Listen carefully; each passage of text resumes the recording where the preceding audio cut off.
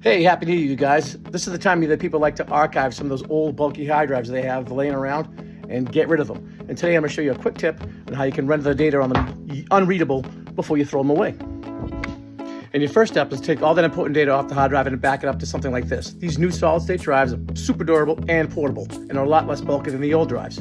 At the same time, you want to back it up to the cloud as well because you never want to have any important data in just one place at any one time. Next, you want to get yourself a small piece of wire like this one and strip the ends just like that. You want to bend it so it will sit kind of on a table just like this.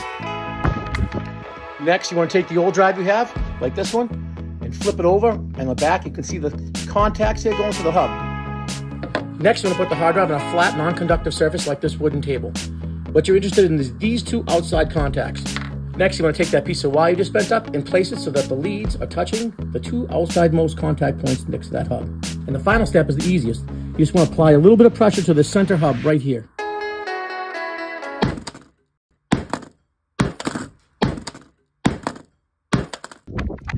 And there you have it. When you're done applying a little bit of pressure to the hub, it's all set to throw away.